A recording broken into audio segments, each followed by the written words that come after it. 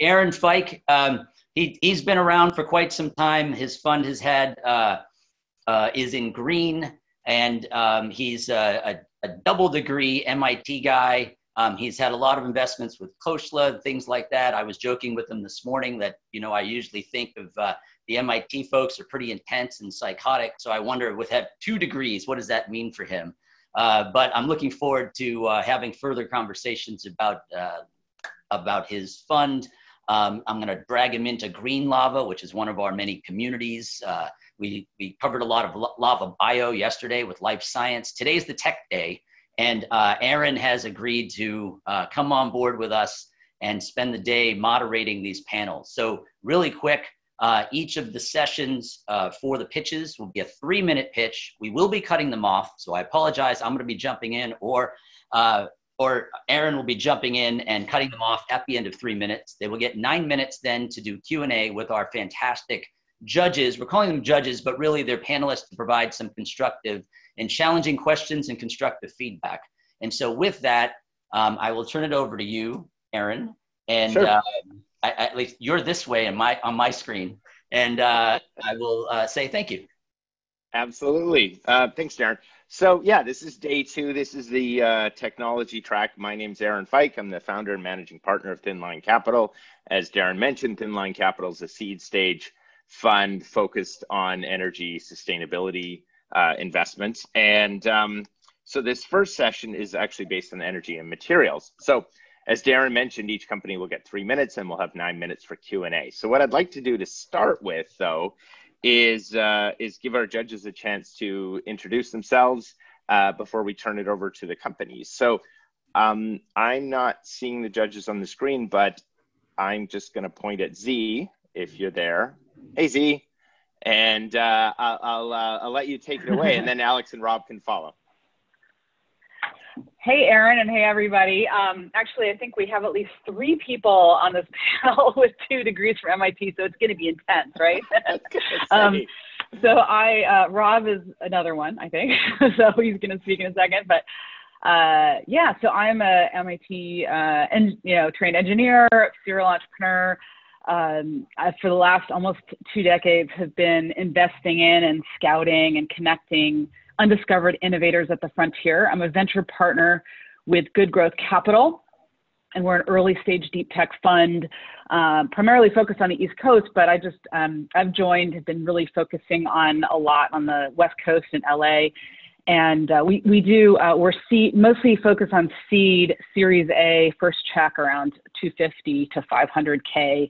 Um, but we also have some um, opportunities for super early stage pre-seed um, really transformative science kind of things as a sourcing fund as well. We have a different fund for that. That's great. Uh, Rob, do you uh, want to give a quick bio? Works better if I unmute. Um, Robert Poor here. Uh, my thing is cool energy research, and I'm fascinated by all the transformation going on in the energy space and helping companies understand and predict and adapt to whatever those changes are going to be. Um, I also should mention I'm an advisor to Good Growth Capital, and I sit on a couple other boards of uh, mostly Internet of Things for the industrial space. And glad to be here. Thank you for having us. Excellent. And Alex is not here today, is that correct? I'm here. Oh, you are there. Oh my goodness. Alex, take it away. Um, uh, hello, Aaron, and hello, everybody. Uh, this is Alex Ranopoulos. I'm the Chief R&D Officer of Kairos Ventures. Uh, Kairos Ventures is a relatively new VC firm. We have been uh, founded uh, with the explicit purpose of uh, investing in innovations uh, emanating out of scientific labs at universities across the nation. We have, though, our roots here in Southern California. We started with Caltech and expanded uh, our relationships to a number of other universities here in the region, such as USC, UCLA, UCI, and we are very keen in in supporting the region and uh, the innovation emanating from such uh, esteemed institutions. Um, in my role as the chief R&D officer, I um, uh, uh, run all the deal sourcing functions um, and as well as the diligence function here at Kairos. I'm excited to hear about uh, the the opportunities uh, that we're going to be listening to in the next few minutes. Thank you for having me. Excellent. Thanks so much, Alex. So uh, the the real stars of today are the companies themselves, and the first company that we have up is um, is Biozen Batteries from UC Santa Barbara. Uh, Biozen, uh, you've got uh, three minutes, so um, you can take it away. Uh, I'm Nate Kirchhofer, co-founder, CEO, and physical electrochemist for Biozen Batteries. I'm here because we're on a mission to make energy storage truly sustainable, and we need to raise a million dollars to do that. So right now, we're witnessing a convergence. First, there is a societal movement and people have bought into using renewable energy in their daily lives. Second, renewable tech is maturing and it requires safe, long-term storage for its expansion to 50% of global generation by 2050. And third, there's a huge market opportunity with a projected $1 trillion in required total battery storage capacity by 2030. And this must be sustainable. Right now, lithium is the dominant battery material, and it works well in cars and mobile phones because of weight savings. However, there are serious safety and lifetime issues that undermine its effectiveness for large-scale deployment, not to mention that only 5% of lithium batteries get recycled. That sounds dire, but a newer proven technology called a redox flow battery, shown on the left, is projected to be used in about 30% of global stationary energy storage because it has a longer lifetime, meaning 20 years or more and tens of thousands of charge cycles, it can undergo deep discharge, and it has better safety. The dominant redox flow battery electrolyte is vanadium, a toxic transition metal, dissolved in concentrated acid. It's safer than lithium, but it has to be extracted from ore by strip mining, so it contributes about 20 to 40% of the total battery cost, and that is not going to get better. So at Biozen, we replace the vanadium in flow batteries with our secret sauce, a safe, non-toxic, organic electrolyte that performs just as well at lower cost compared to an equivalent vanadium battery. Biozen flow batteries then also disrupt lithium in stationary energy storage applications. On top of cost and sustainability, our electrolyte is recyclable at the end of its life, safe to ship by air, and it can be manufactured anywhere. But our electrolytes are not yet in production, and that's why we're here presenting. We have a detailed plan to optimize energy density, material cost, and battery lifetime to drive our costs down. We need capital to make this happen. The top row of this slide is our business model. We plan to produce and then sell our electrolyte to flow battery companies. Once our tech is proven in real devices, there are a variety of follow-on B2B and B2C opportunities that emerge. We bootstrapped a Delaware C Corp last year, and we've made measurable progress despite the pandemic. We just isolated our first material and we're submitting a provisional patent. Investing in us is a bet for a cleaner, safer, greener future. And based on our current progress, raising funds in the next three months will allow us to start sales in mid 2021 with profitability and break even around five years. As a team, we each have over 10 years experience in our fields on top of previous entrepreneurial ventures and several years of developing and selling technical hardware. Bolstering our team with additional business development, sales, and marketing skills is a must. Thanks for tuning in, and I look forward to talking That's to perfect. you. Thank you so much. Um, so we've got nine minutes for Q&A. Uh, attendees um, on the Zoom call can also type in questions in the in the Q&A box, but I'll turn it over to our three panelists right now. Uh, Nate, first off, uh, totally agree in the need for the future of batteries, and it's going to be very, very, very important. Uh, so I have two questions. Uh, are you familiar with the work that Lockheed Martin is doing on non-toxic redox flow batteries? And how do you expect to, you know, what's, what's the differentiator? That's question one. I'll just stop with that one. Sure. Yeah. Um, I actually just read their patent uh, in the last couple of days. So they they're doing a slightly different chemistry um, I actually find it quite exciting that they're coming online. It's adding a little bit of momentum to the redox flow battery space. Sure, of course. Um, but they're they're using chelated metal uh, ions, and in our case, we're using uh, organic. So it is differentiated from both an IP standpoint, but also from a chemistry standpoint. So great. Thank you. Yep. And what are your advantages over the Lockheed Martin technology? Um, I think theirs is also going to require uh, metal ions. So in the case of like vanadium that I talked about uh, during my presentation, you know, they're going to require some sort of redox active metal as well. Um, you know, it might be more sustainable than vanadium, but in our case, you know, ours is based on carbon. So there aren't going to be mining sites required. You know, we, we can really manufacture this material anywhere. I heard there's a lot of carbon around. yeah. so the other thing is, you know, if you've been plotting the cost of, oh, I don't know, you know, levelized cost of energy or levelized cost of storage, or however you want to compute it, um, that's coming down geometrically over time. Indeed. And I think it's great. You know, I think there's huge opportunities for the people that use that technology, but it does prove to be a bit of a challenge for the people providing that technology. So, in the face of eroding uh, margins, um, what's your what's your plan?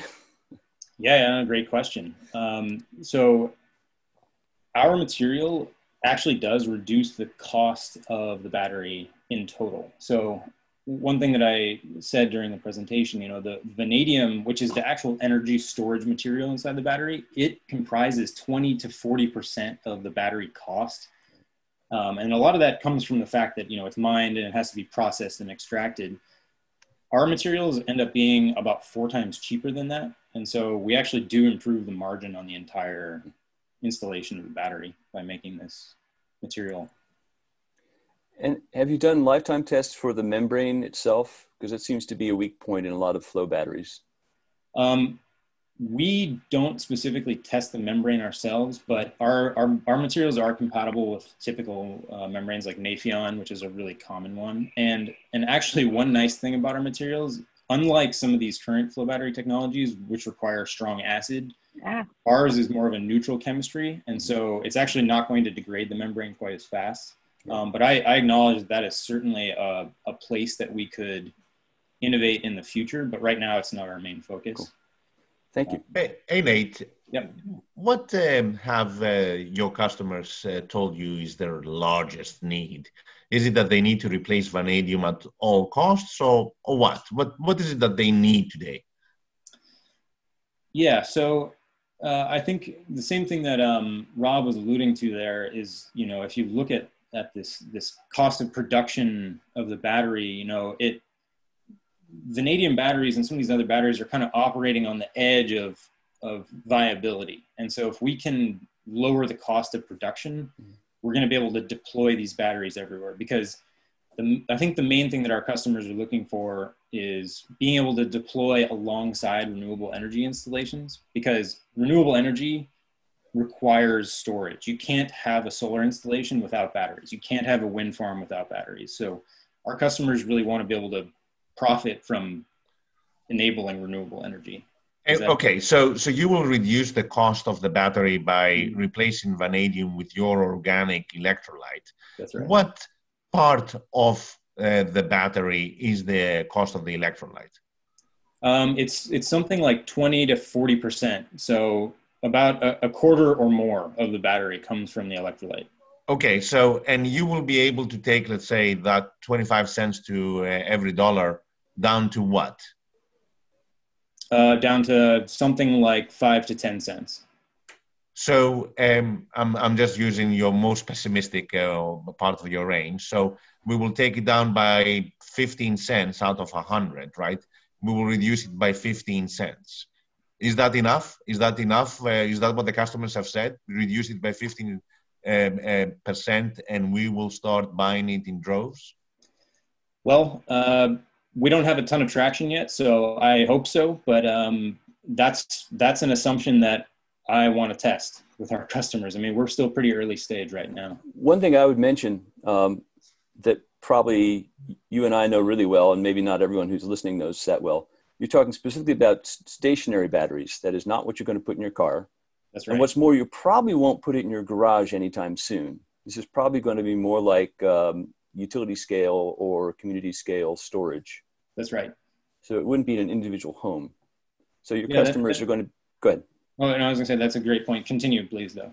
Uh, so your customers are going to be mm-hmm. the utility companies or the or the local co-ops that need to even out the renewable energy storage. I think it's probably where you're going to find the most customers. Yeah, absolutely, absolutely. We're not we're not yeah, targeting. You... Oh, go ahead.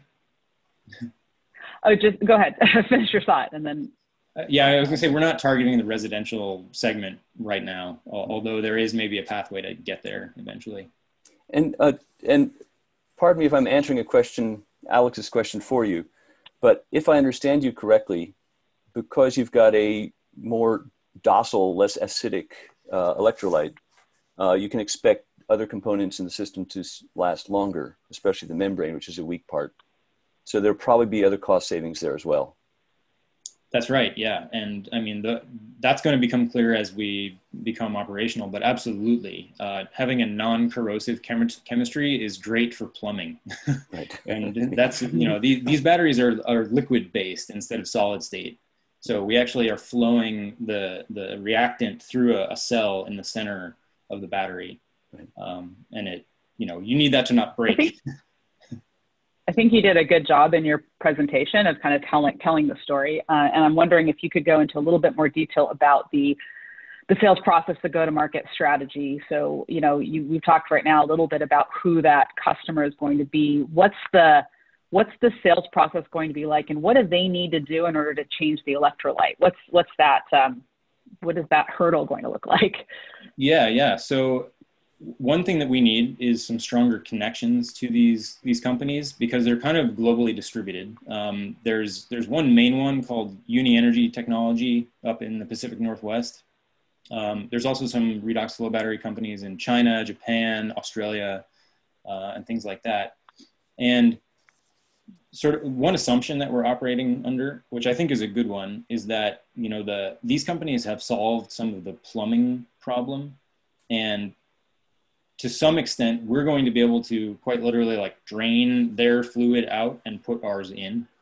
Um, and so the sales process really is a matter of talking to them and seeing what their pain points are, which I already know one of them is that the cost of the electrolyte is very high.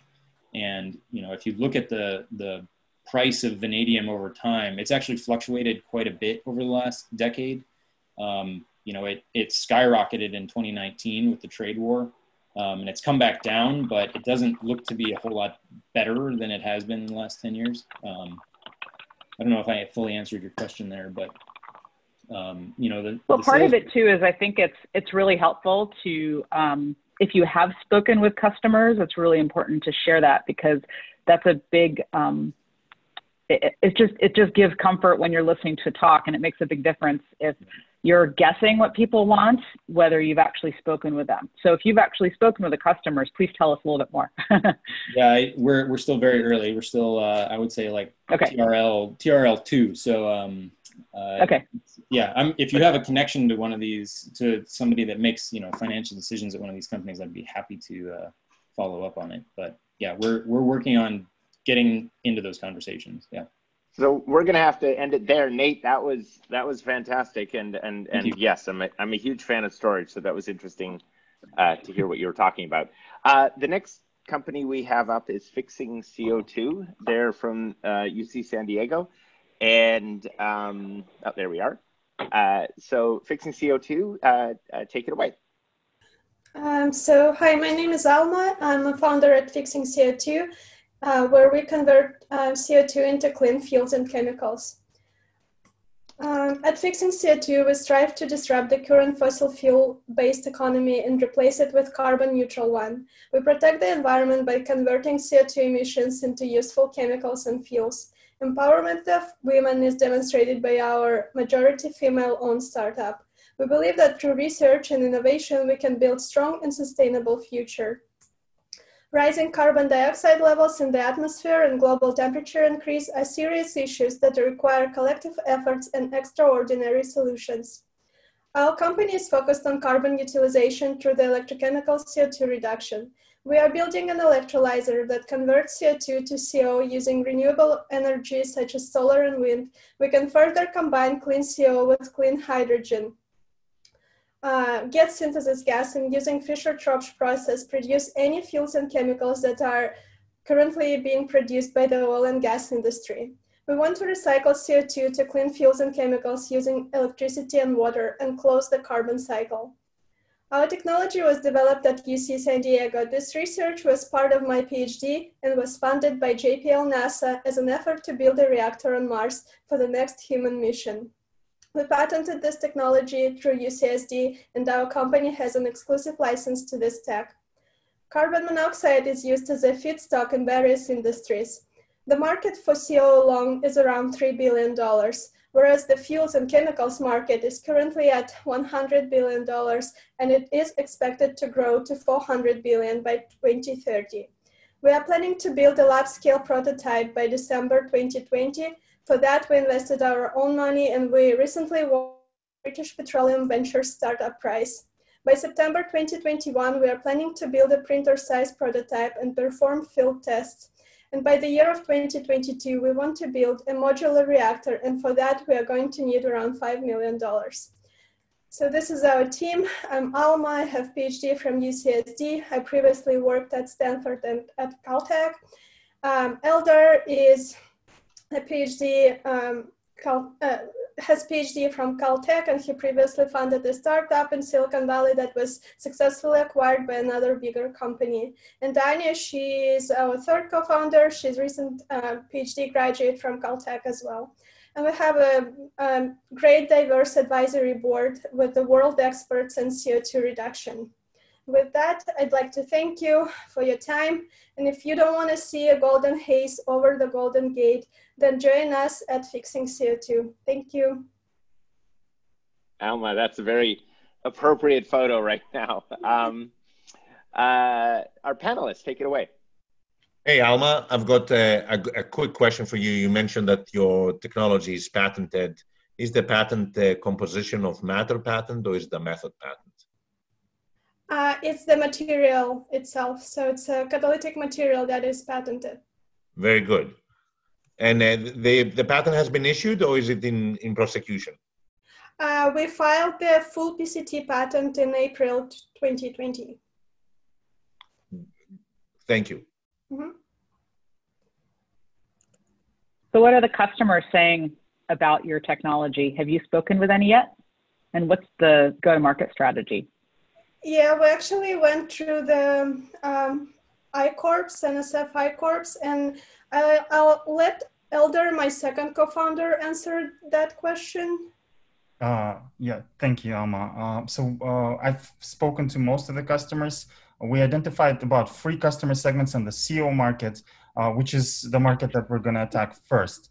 The problem with the carbon neutral fuels market is first we need to operate at a large scale, and then there's some techno-economical challenges that will definitely be eased with carbon regulations and things like that, uh, which are unraveling around the world. But uh, we think that the, attacking the CO market right now is the best bet where we're already profitable without any carbon regulations. And then there's about three segments. Uh, uh, the most interesting one is large chemical companies like Dow, uh, Covestro, Mitsubishi, and, and others who are using CO for production th- of things like isocyanates and polycarbonates. Uh, they need large amounts of CO. They're currently in North America, they're currently getting it from SMR plants, and they either have pipelines or have uh, gas distribution companies deliver uh, the feedstock. And with this technology, they will be able to produce it on site. Um, and uh, we spoke to about over 40 different uh, people in, in the ecosystem. Um, and a lot in the chemical industry. Uh, there's also a smaller segment which we can get to quicker, which are gas distribution companies. They already have a lot of CO2 and they also sell some of the CO. So, um, in fact, there is a product on the market from a, an adjacent technology of high temperature electrochemistry where they're already selling to some gas distribution companies in the US. So there's a confirmation of the market needs. Our technology is more energy efficient and doesn't require a waste uh, heat source.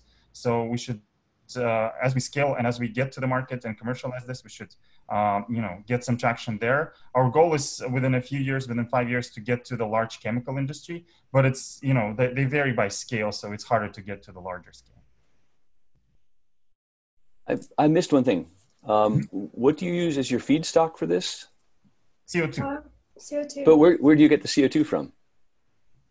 Uh, that's a good question. So uh, we think that some of the customer segments, like gas distribution companies, they already have CO2. Uh, for the large chemical companies, actually the the uh, the value proposition is they can repurpose their large CO2 emissions and you know uh, basically utilize those. Um, it will require some distribution component, but uh, it's very valuable for them. It's probably more important than controlling their on-site CO production. Um, so yeah, we, we want to recycle the, the emissions from somewhere.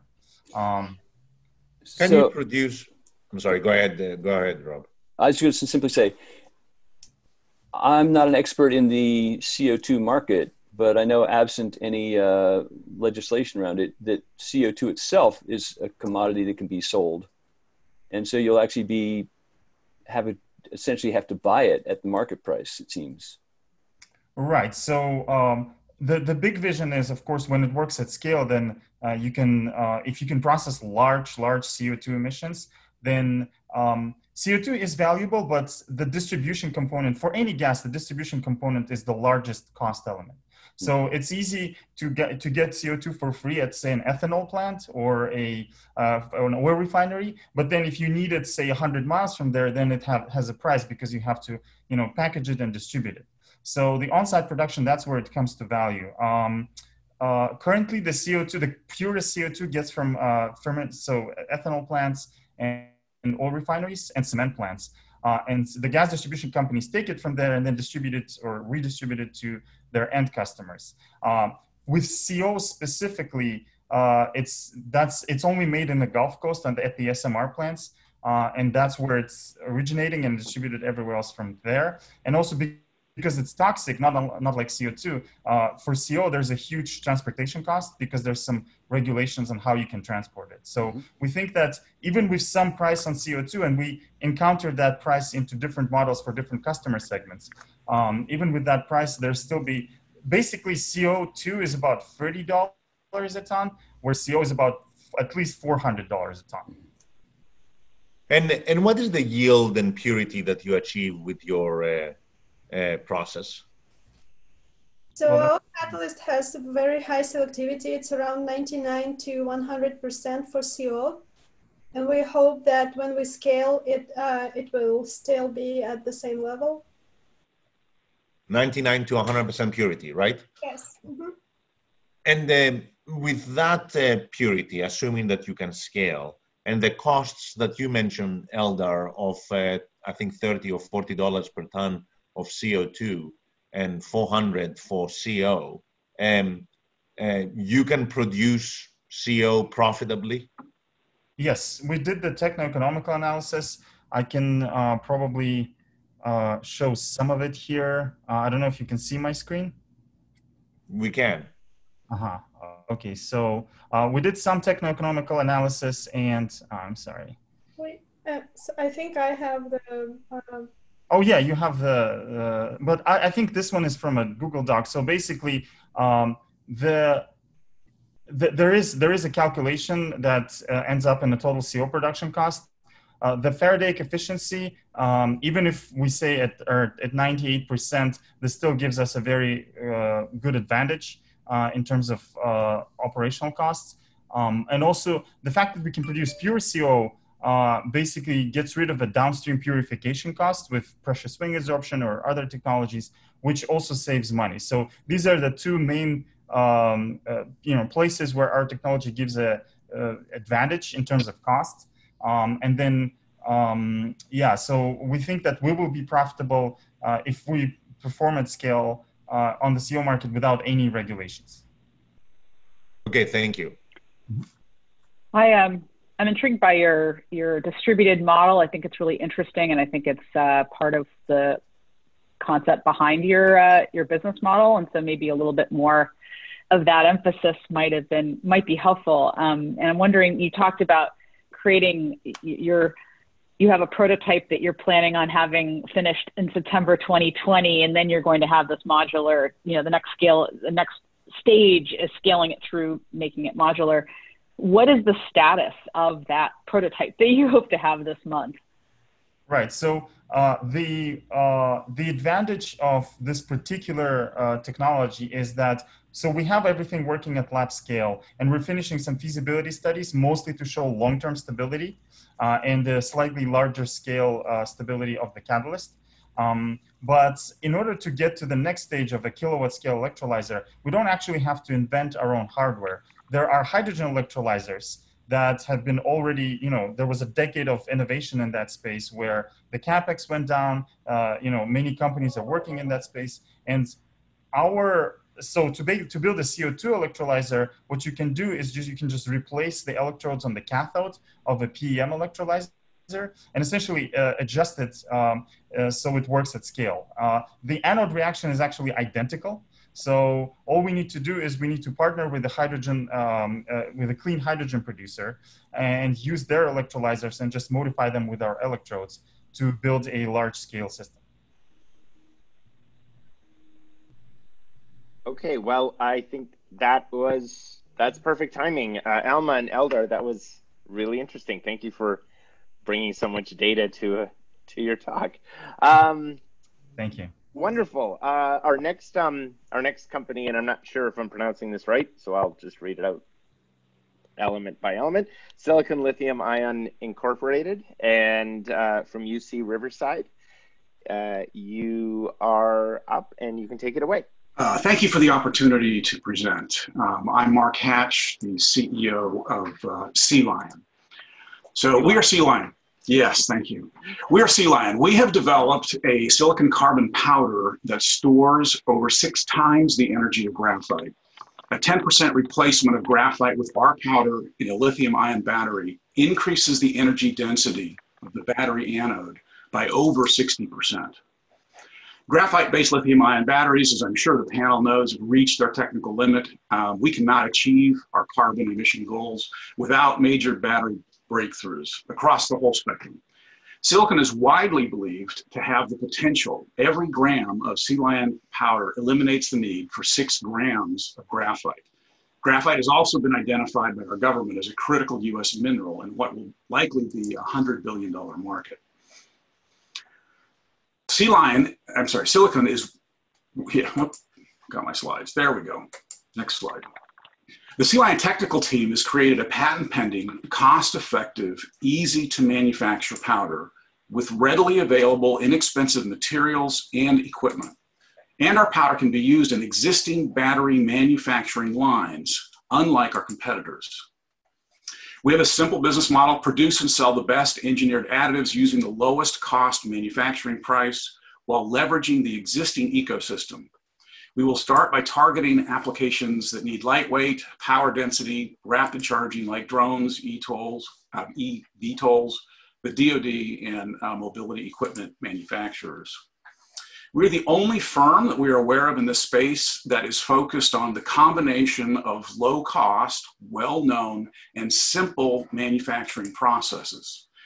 We have a simple go to market strategy. We will use our extensive contacts within the business uh, industry attend and speak at various industry events, and hire a commissioned direct sales force at the appropriate time to call directly on uh, battery manufacturers.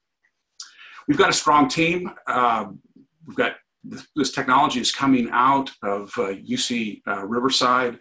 Uh, Dr. Um, uh, Magalini has got a center there, and he's done some phenomenal research over the last decade. And the product is now getting ready to be commercialized. You'll hear from uh, Giorgio here in just a minute.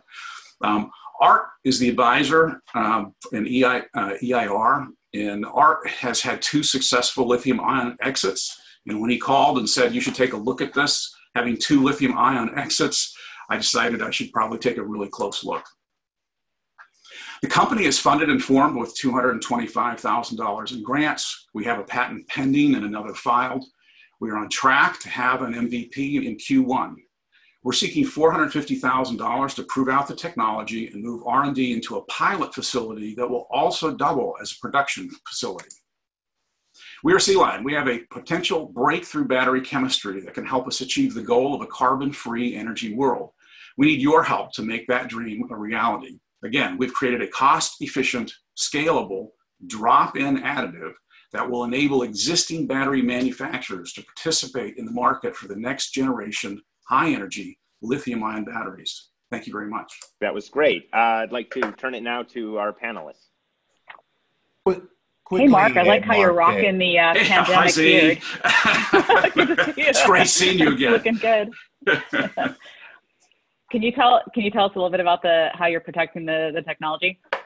I know you said patent pending. Yeah. Yeah. Uh, Giorgio, you want to take that? Yeah. So at the moment we have uh, a single patent uh, pending uh, that is covering the IP of the material production process uh, our idea is to develop a patent portfolio around this technology. So in time, we would like to increase the IP protection around this, uh, this concept. But the core now is the material production process. That's a little bit harder to protect. Uh, and I'm wondering if there's, you know, what other ways you can protect your IP in the future. So there, uh, there are a bunch of research stream opportunities um, to go after from uh, the, you know, the thickness of the carbon shell, the graphite shell, um, uh, as well as uh, potential chemistries with uh, um, you know uh, other compo other components. Again, Giorgio could probably talk to it more, but this is our you know this is our quick um, way to get an MVP into into the market and have it at least um, nominally protected. It would be great to have a chemistry protection, uh, and I think some of our competitors have gone off in that direction. Uh, but they're using, you know, nanotubes and graphene and all kinds of very exotic manufacturing processes and kind of passed over what uh, looks like a you know, pretty clean path.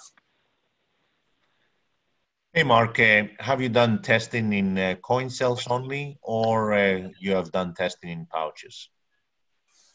So uh, we did uh, extensive testing in coin cells and uh, we started just by the end of last year in large format pouch. Uh, at the moment, what we are doing is uh, developing with a third party company a full pouch cell prototype based on the technology.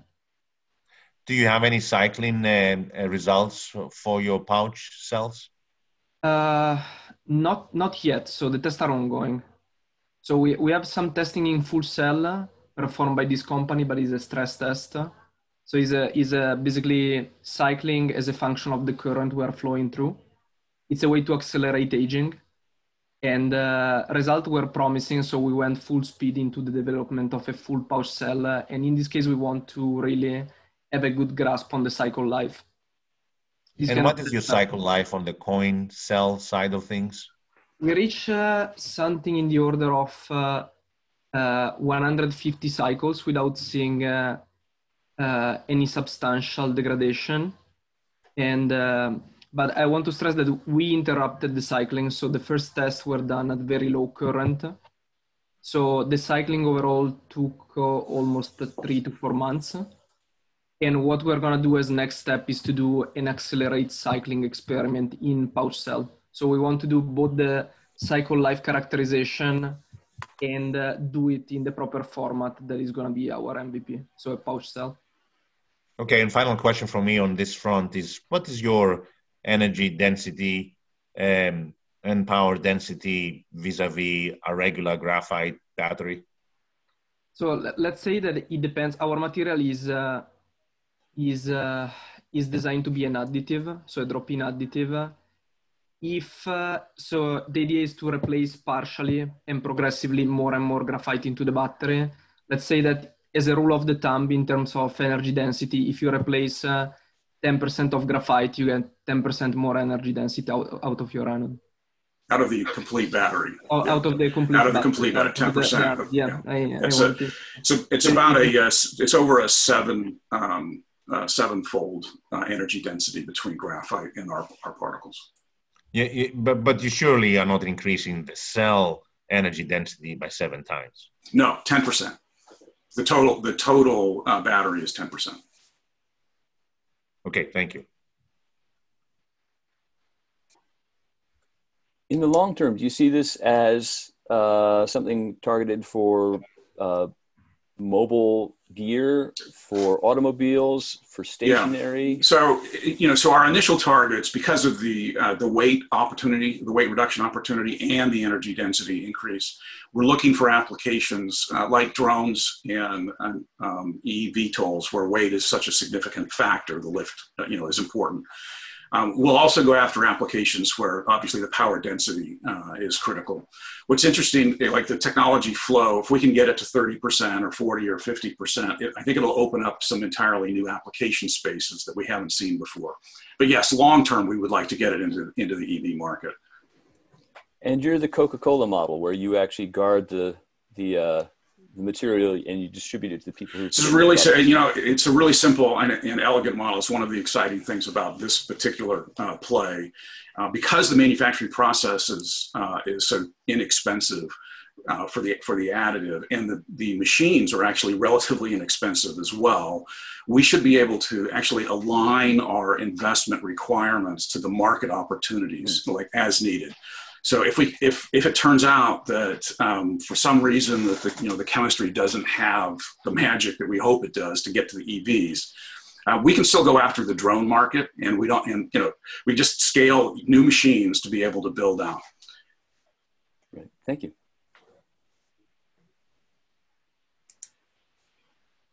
I actually think that um, emphasizing that trade secret might be helpful, just because you know my my immediate reaction was ooh, you're not protecting the chemistry. You know, this is going to be a lot harder. Um, but um, that's just it's it's definitely a choice. It's completely um, reasonable, but I think I would be more upfront about it at the, okay. at the beginning.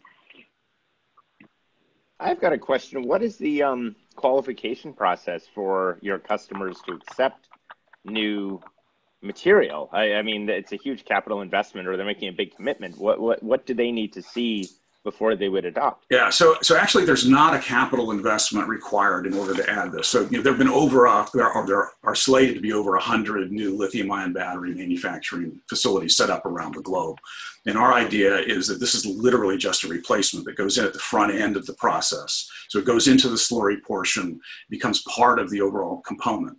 So that it obviously they're going to do R and D. They'll do a three-step process. They'll do a testing, they'll do a pilot, and then they'll do scale. Okay. And if any of our audience members have any questions, you can also use the Q&A box just as a reminder. So I guess the another question then, so for the next 12 months, yeah, for the next 12 months, what are the key things you want to accomplish? Well, so I'm in a big hurry. Um, I think we've got some, at the low end of the market, 10% load. I think we're close to having an MVP, and I'm pushing our team to try to have something uh, in Q1. So I want to get it into the market and start making some noise with it. Um, it will obviously as we increase the uh, the load, we're probably going to see some other uh, issues arise, and so we'll have to work through those.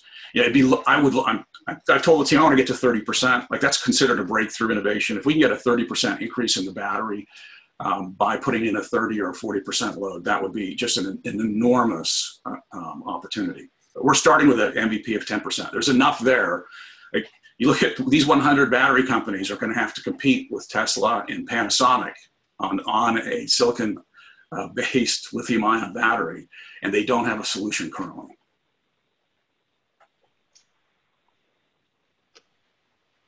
There was a question in the chat box and it disappeared. Um, it was a reference to solid state lithium and how this compares. Yeah. Um, I uh, I can't phrase it better, but does uh, is that something you can address? So there's a, I, I'm not a technical guy, but there was a great uh, white paper that uh, uh, Sila uh, kicked out just last week that articulates uh, very strongly and, and, nicely about why solid state is a longer term play. Um, it's, yeah.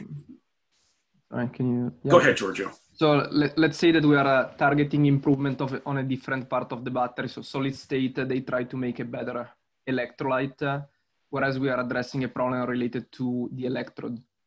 And on a level, these two technology might be compatible with each other. It's also very important to stress that solid state batteries at the moment are facing a huge challenge, which is scalability. So it's not a technology directly scalable, uh, but nothing prevents to use one in combination with the other. There are actually studies in literature showing that you can use a silicon anode in combination with a solid electrolyte. Yeah, and there's there's a, cap, a significant capital expense that current lithium-ion battery companies would have to um, to go through in order to make that work. I see. Okay, well, Mark, thank you so much. Giorgio, thank you for your comments. It was great to uh, have you guys on, and uh, greatly appreciate that. Thank you very much. Um, appreciate it. So up next from uh, UC Santa Barbara, we have Buoy Buddy. Uh, oh, there you guys are. Take it away. You've got three minutes.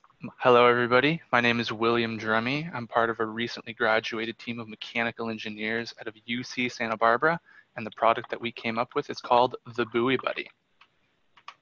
So, for those who don't know, a the Buoy Buddy is a retrievable mooring device, and what a mooring is is basically anything that you want to throw over the edge of the boat, sink to the bottom of the ocean with hopes of getting it back one day. And the main problem with traditional mooring devices is that in order to get it back, you have to separate it from the weight that anchors it to the bottom of the ocean, which then thereby abandons the weight and whatever's holding it to the weight at the bottom of the ocean every time you want to deploy and retrieve one of these moorings. And that's a big problem. Um, one weight, two weights, a hundred weights may not be significant, but after hundreds and hundreds of moorings are deployed, you're leaving tens of thousands of pounds at the bottom of the ocean um, forever, which uh, disrupts natural environments. That's where we come in. So our design uh, basically modifies this system. And the main idea here is that it ensures your data recovery, whatever instrument you're sending down to the bottom of the ocean, it ensures the recovery of that. Not only that, but it also releases a second buoy, which is then attached to the anchor, which you're able to pull up to the top of your boat, bringing the entire anchor system with it, which makes the system completely reusable. So this system is fantastic because it pays for itself. Normally, you're spending money on weights and chain, which are then leaving at the bottom of the ocean. With our system, you can get everything back. After two uses, we estimate it'll pay for itself um, by virtue of not having to pay for extra material. It's also flexible and can be adapted to any acquisition, data acquisition device at any depth with any type of weight. Um, we talked, we worked directly with NOAA National Marine Sanctuaries, and they estimate that they spend $900 a year just on this tiny part at one research institution, which is completely re reusable with our system. So this system is also fantastic compared to its competition. Um, with our market comparison, we estimate there's a $2.5 million market uh, locally and internationally. There's about a $7 million market. Our product costs about $451 for one uh, system alone, which is one tenth of the price of any competitor that we could ever find, um, which makes our system fantastic um, from a cost perspective. It also checks all the box boxes with reliability, low cost, simple, and sustainable. Um, that's what everybody wants out of a system. Moving forward, we're looking to secure funding for a utility patent. Um, we're looking to market this product towards acoustic release companies, which is what you see in yellow in this animation. Um, also towards oceanographic researchers, who are the majority of people who are sending these moorings down to the bottom of the ocean. Looking forward as well, NOAA policy controls what goes in and out of the water, and you can make it policy that any mooring that is deployed in the water must be retrievable in the future, and our system can make that happen. Thank you everybody so much for listening, and we're open to questions. Thanks so much, William. Um, and, uh, and yeah, I'd like to turn it over to our panelists now for questions. I'm also going to bring in some of my teammates who can field some questions as well, Isabel and Helen. It costs $451 for your system, you're saying how much does it cost for the regular systems that uh, we currently leave behind? Um, so currently, you're spending hundreds of dollars just on the weights. Whatever you're leaving on the ground, um, that costs. You're usually using a couple hundred dollars worth of weights, and then the piece that we highlighted also costs about $100 as well. The, the data acquisition device, which is what they're usually sending down to test, is thousands of dollars, plus the data on it is worth thousands of dollars. The I'm talking about the equivalent system that, that you will be replacing. If yours costs 451 uh, and I understand that it is reusable, and mm-hmm. that's your key point, how much how much is the other one? You said that you can replace it in a after you you are cost efficient in in after two uses. Does that That's mean correct. that they are leaving behind 250 bucks That's uh, correct. per time? Yeah, um, I can answer this. So the weights are about 150 if you buy new plates, and then that little replacement piece that William talked about was $90. So it's about 240 um, per use when you lose all the weights. Um, and then, as Will said, our competitors are around like 4,000 to 7,000, and that's the reusable side. What what makes the weight so expensive? How how much weight are we referring to? Um, it's so depending on the device you send down and the um, buoyant force of your buoy, you need as much weight to counteract that. So usually, what they do is send weight plates down, um, and weight plates can be like fairly expensive, um, especially with people trying to use the gym during COVID. Um, And, and typically speaking, how much weight are we talking about? It's um, actually dependent on uh, depth. The, mo- the deeper you go, the more weight. Uh, our uh, system can be interfaced with any amount of weight, but typically you're looking at between 80 pounds and 1,200 pounds. The deeper you go, if you go kilometers deep, you're looking at like a train wheel, which you're attaching, which is thousands of pounds. But if you're looking at diveable depths, 80 to 100 feet, you're looking at maybe 70 pounds, and it scales from there. And what makes for the cost difference? What what drives your increased cost? um, the manufacturing of the parts. So we estimated it's about $450 for our piece. If you were to mass produce and order 100 parts, 1,000 parts for everything, then you're looking at maybe a 50% cost reduction at least. You're looking at probably 200 bucks for our entire system. And to add And that's for the both the spooler and the little dual release system. Correct. And to add to that, um, a lot of our competitors, other comparable on the market solutions, um, the way that they work, it's a completely sealed, like a completely closed off system. So there's a lot more time and money put into making, put into customizing um, those moorings to whatever system you're deploying. Um, and ours is much easier to um, to interface with whatever system is being used with. On my screen, I have some of them. Uh, all the basically all the competitors. They're all made to order, super fancy. You can't interface them with anything that you're using. They're all their own system, so you can't you can't integrate anything with these systems.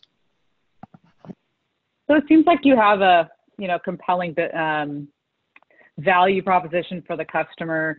Uh, what gives me pause is just the market size. So when you're if you're talking to venture capitalists, they want to see markets in the billions, 10 billion, you know, uh, not millions. And so I'm just curious what you feel like, what kind of a, what kind of capital do you need to get this off the ground? And where do you think you're going to most likely get it? Um, so basically, what we are looking for what to do with our funding is um, basically to patent this. And um, I think Isabel did some of the um, market research. If you want to talk more about that, Isabel. A bit, yeah. That's just based on the um.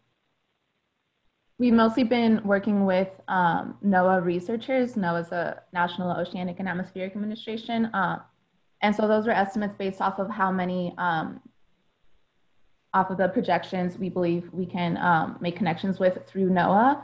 Um, and as Will mentioned, um, we, there's been an ongoing conversation um, with policymakers um, at NOAA, and everyone we've spoken to is absolutely thrilled about this concept and wants to see it um, widely used. And like Will mentioned, wants to see it used to the point that it's the only um, type of mooring being used. So we do feel that once this once this product is consumer ready, um, we do feel that there is a large enough customer base um, just with NOAA, but there's also you know many private researchers outside of that too that I think would be very interested. Well, let's no- let's work through the uh, potential. Sorry, Rob. I mean, like the sort of who are the how many customers are there? How many buoys do you think are being um, deployed now? And uh, maybe there's a way of either getting a grant, an SBIR grant, and then that would cover your investment up front to start manufacturing these, or maybe you could just get a you know, non-recurring, you know, cost from your customer up front to custom, you know, build something for them and get it off the ground. So I'm just trying to like figure out for you, like what what is the path to get there? Because you need a small amount of investment up front. You're probably not going to get it from a VC. Gotcha. Yeah, well, we've when, but we've been working uh, most closely with the National Marine Sanctuary at the Channel Islands, um, just because their building is right on campus at UCSB. Um, and there's a handful of researchers there, maybe between five or 10 that do their own, um, you know, several ongoing projects. Um, and one researcher we've been working with deploys, I think, about 16 of these moorings a year. Um, so I hope that gives you some idea of, um, you know, how often these moorings are being used. So uh, one question. Oh, sorry, Rob. Go to take it real away. quickly. Does NOAA mandate that you have to retrieve the weights, or what is the legislation? Not currently, but that's the long-term goal. NOAA controls what and when goes in the water. Anything, anywhere. If you're a researcher and you want to throw something to the bottom of the ocean, you go through NOAA, and we work with basically the ocean manager. He's the guy who controls that. And what his vision was is, hey, I need you guys to develop this system that is reusable and that way it we we wanted to make it cost effective for the researcher and whoever is throwing these things down because right now it's not worth it um, they say okay you're whatever you're throwing down there is necessary research and therefore the cost of abandoning this system outweighs um, the benefits outweigh the cost but what we're trying to do is make the cost low enough to where that they can NOAA can require anything that goes underwater to be reusable and retrievable. Um, and that's basically the main value proposition so of our product. If I were to summarize what you're saying, or summarize everything I've heard here, not just what you're saying, mm-hmm. you've made it more economical to actually pull the weights back up than to leave them on the ground. Correct. That's huge. That's great. The other thing that Z was pointing out is that as far as markets go, this is a very small market for something that a VC would be interested in. Mm-hmm. If you consider they've got portfolio companies that are, you know, gunning for a billion dollars, right? Um, it's hard for them to justify spending time on this. So maybe there's another model that would get you funded and get you off the ground because it sounds Absolutely. like it sounds like just on the value proposition alone, if you could get a couple early customers, like Z said, that would give you enough capital to fund a provisional patent and move on from there, you could get off the ground quickly without having to go through the headache of a VC. All apologies to our VCs on the, the call, but they've got their own interest to watch out for. No, no, the goal in life is not to raise VC money. The goal in life is to build a successful company, um, right. sometimes without VCs. So, uh, William, uh, Isabel, uh, and Helen, that was uh, that was really interesting. Thank you for uh, explaining that and going into the detail of what you're doing. So I appreciate Thank that. you guys so much for listening. Thank you. Uh, and then our final company, yes, our final company with this segment is Beamlet from Caltech. Beamlet, take it away. hello, my name is Ivan. I'm the founder of Beamlet. We're building a vision system based on LiDAR for easier and safer driving. Driving is not safe. Every year, 40,000 people die in the US alone. That's uh, one person every 15 minutes. I know someone who got killed in a car crash, and maybe you know someone as well. New technology can change that. With your new car, you can get an autopilot that costs a few thousand dollars, and it can save your life. The market for this is large and growing. The problem is that autopilots don't always work, and that's because they rely on sensors that don't always work. Radar and cameras have their limits. There's also a laser sensor called LiDAR.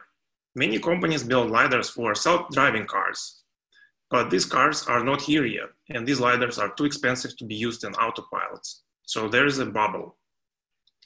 There's a next generation LiDAR called coherent LiDAR. It is completely immune to interference. It works reliably at long range, and it provides velocity information. But existing implementations are expensive, so the market is essentially empty.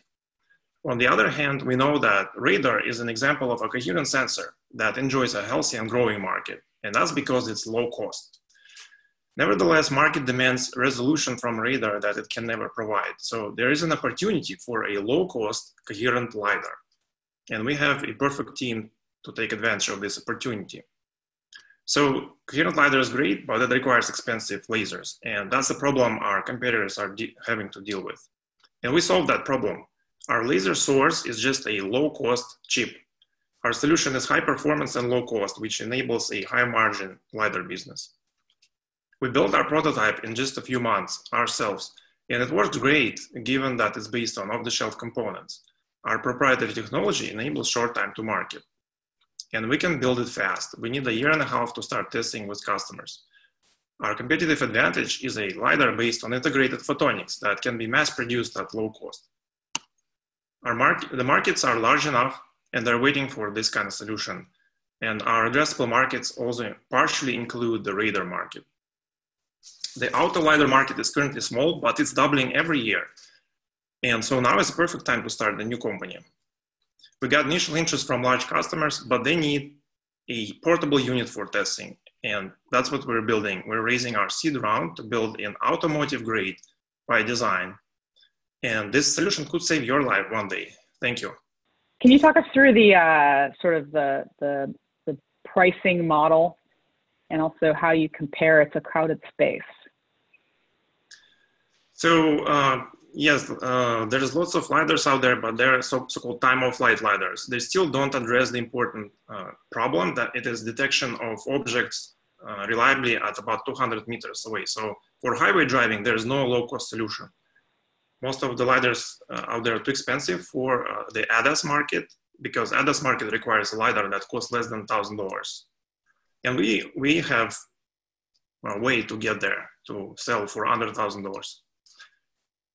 And this, the LiDAR, LiDAR we'll build, uh, we're building is different from uh, market LiDARs because it's a coherent sensor. Uh, there is no one on the market right now that you can buy. There are a few companies developing this technology, but it's not there yet. But forgive me, I don't, I don't know if maybe I missed the slide, but what is the pricing? How do you compare to the, even though it's different, how, um, how is it different from what's out there? Okay, so everybody the, the who develops Oh, I cannot share my screen anymore. I'm sorry. Hmm. Oh, can you see my screen? Yes. Yes. So everybody who is making coherent LiDAR have made claims at one point or another that they're gonna hit uh, $300 in mass production. And we actually did a cost estimate, cost model that we actually get to $200 of BOM cost in volume. So that's how we believe that we can make it cheap. And that's actually what our customers are asking. They want it to be low cost, very low cost. To tell us about your potential customers. So our potential customers. Yeah, what they're saying, we, we, oh, sorry. Yeah, we basically talk to them and they say, "Whoa, that's interesting. So you made this uh, very uh, simple uh, new technology, but can you send us a few units for testing?" And uh, unfortunately, that's why we're raising money and we need to build them because we have built a proof of concept that shows that our approach, our very new approach, is working. So,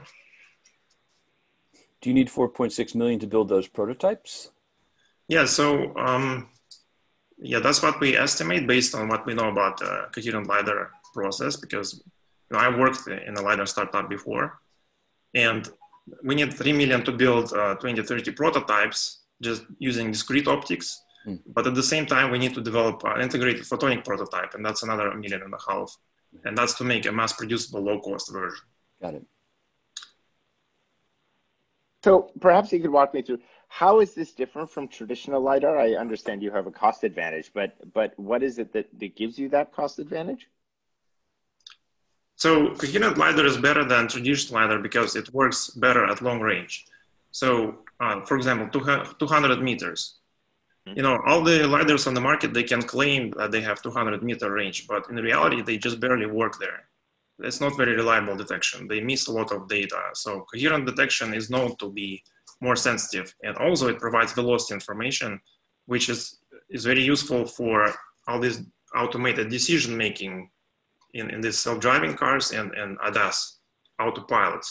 So this is next generation sensor because it's better, but um, it's not there yet. Uh, nobody has provided. So is this going to replace the the long range radar in uh, in a car?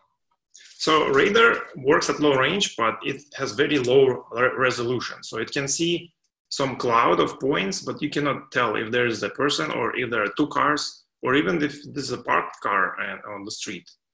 And this thing can provide high resolution, so you can pinpoint and selectively scan objects. So it will com complement a radar, and radar will probably be left to um, redundancy functions in rain and fog, because nothing works in fog except for radar. So the, the current uh, rotary lidars on the autonomous vehicles, are those uh, uh, just for short range? They're, they're not meant to be for long range? yeah, typically they work 100 meters or so, and just barely there. And you know, if some some companies reach longer range, but they do special tuning, and basically the time of flight physics prevents the long range, basically. If you, and uh, and what uh, if um, if the long range radar has uh, a low resolution, as as you said, do they use something else today? I mean, do they, don't the Teslas use some cameras for long yes. ranging? Exactly. Tesla relies on camera and radar. And camera, you know, they don't work well at night. They can be blinded by bright lights. And radar has low resolution, so basically cannot tell exactly what is the where. And this combination also struggles detecting curb curbsides and doesn't work well in tunnels. And when you will have radars on every car, they will interfere. It's a known problem in the community of radar developments. So so, so Nicholas, Elon Musk uh, famously oh, said that lidars are useless. Uh, uh, nobody's going to start using them. Nobody's going to be using them in the future. Um, was he referring to the fact that they have short range, or some other fundamental issue that? I think he said a couple times that they're expensive crash, right? Expensive, expensive, and we will make it so cheap that he will buy our lidar. I like the fact that you don't have exactly what's thought of as a classical lidar, right? If I understand it, you're using uh, uh, pulse waves in a different way than a coherent laser, which is what gives you the long distance. Is that correct? We're, we're building a coherent LiDAR. We, we're not sending okay. pulses. We're sending okay. very low power continuously and scanning. Got it. Got it. And this is actually the very old technology, but for all the companies, it was easier to jump in the market and build time of flight LiDARs. That's ah, why we have so right. many of them but they don't physically they're limited you know so right. we believe the next generation is coherent and actually we see that num- number of people developing this is growing internally mm-hmm. have you considered in- you tell- have you considered uh, uh, strategic partnerships as opposed to vc yes we, we have considered uh, we talked to some some of them require a little bit later stage for strategics some vcs advised us not to talk to strategics at the early stage and right. we got some also interest from strategics that we're kind of waiting on. Ivan, uh, uh, last comment from me. Give me a call when we are done here. Um, we are just a block away, and I didn't even know about Beamlet. So give me a call, alex at kairosventures.com. Thank you. I'm uh, I, am curious. I, I, it gives me pause. I, I, know Rob sort of alluded to this too. His question of three million to build the first prototypes, and I'm just wondering if there's a a short, like a shorter kind of a frame time frame thing that you can do in order to you know do a little bit more of a proof of concept, so it makes it easier, like a you know, for someone to commit. And I'm also curious what your um, what what your patent position is and, and how what's your barrier to entry for these other coherent lidar companies? Because you mentioned that there are other coherent lidar companies. Yes we have a provisional patent application uh, in may. We we can do smaller milestone and we're considering that now to get us going. We so far we are self-funded and this project costed us very little money. We're very cash efficient extremely cash efficient. But our competitors raised a few million to get to where we are now actually. So what would be the next milestone that would cost less? If we, if we do cost less, we, we could improve uh, to a real-time scanning. We'll generate video point clouds. And maybe get better performance. So it will be slightly easier with customers, but they will still want a portable unit to test. And unfortunately, we have will have difficult time building such a portable unit professionally, you know, with little money. We need professional engineers like ourselves and a few more to build something really production grade.